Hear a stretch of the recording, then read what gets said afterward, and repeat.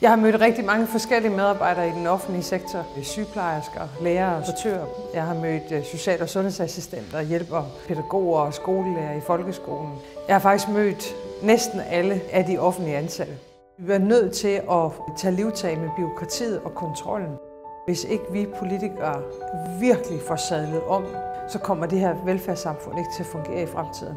Når man bevæger sig rundt, hvad enten det er som ambulanceredder, eller det er med politi, eller det er der, hvor man arbejder med små børn, folk, der er syge, folk, der har behov for omsorg, så er vores offentlige ansatte i Danmark kendetegnet af en virkelig høj faglighed. Der er en grund til, at man har valgt at blive offentlig ansat, og man vil noget med sit fag. Det andet er en enorm øh, energi og en enorm øh, omsorg for de mennesker, man arbejder med.